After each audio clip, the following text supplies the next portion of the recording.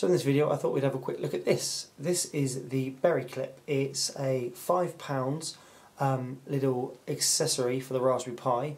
Um, it has six different um, LEDs. There are uh, two yellow, two red and two orange and um, a buzzer along with a simple button. It clips on top of your Raspberry Pi like so onto the GPIO port. What's really good about this is that once it's connected on it sits on really securely.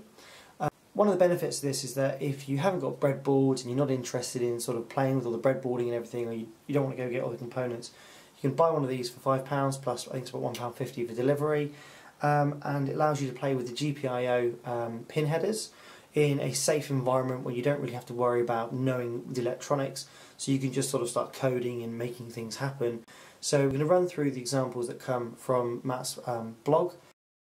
So to get your hands on one of these clips you need to head over to the Raspberry Pi Spy website and there's more details on there.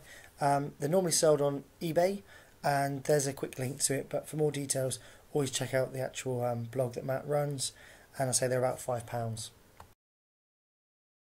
So here's the berry clip. You're going to have to solder it together, um, but it doesn't take long. It's um, only a few components. I'm going to be using the Adafruit's um, web IDE for programming.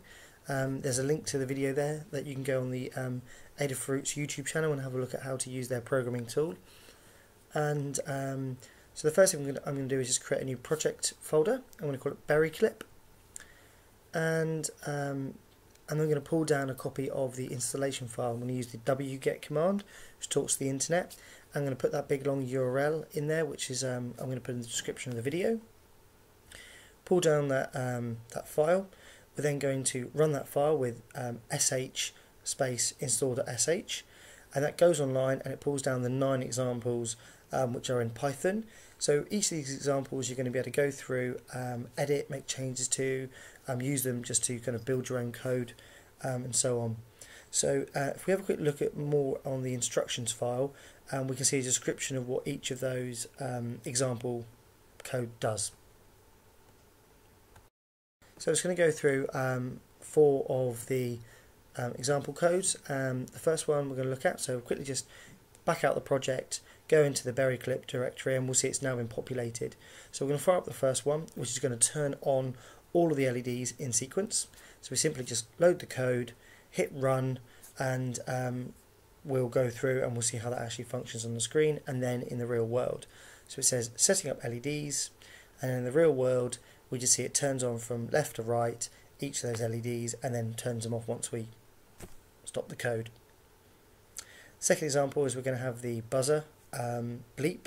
So we're going to run the berry clip underscore 02 code and um, that will beep twice and then it will just prompt to say um, you know your system should have beeped twice now so in the real world we'll just hear those beeps